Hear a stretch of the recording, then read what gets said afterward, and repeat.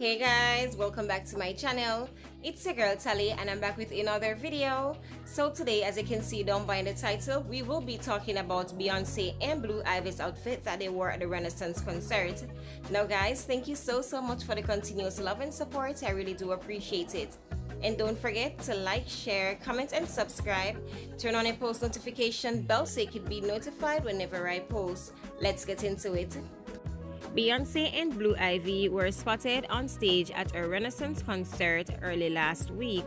Now, Blue Ivy was rocking a red jumpsuit that resembles the one that Rihanna wore at her Super Bowl halftime show. Beyonce, on the other hand, wore a silver bra set similar to the one that Rihanna wore at the Super Bowl halftime show. The only difference is that Rihanna own was in red. Now, this photograph was shared on a Fenty fan page. You know what the other fun part about it is that Rihanna liked this photo. Now, guys, if you take a close look at Blue Ivy's performance, don't you see a little bit of Beyonce and a little bit of Jay Z in her?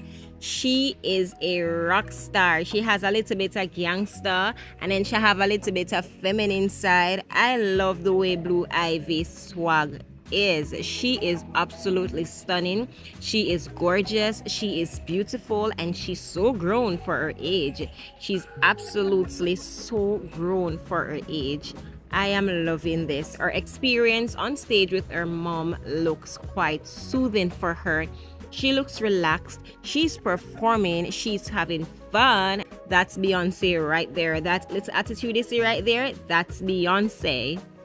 Okay, so guys, we've come to the end of the video. Do feel free to leave a comment down below. Let's have some chit chat going on down in the comment section. And don't forget to like, share, comment, and subscribe. Until next time, bye.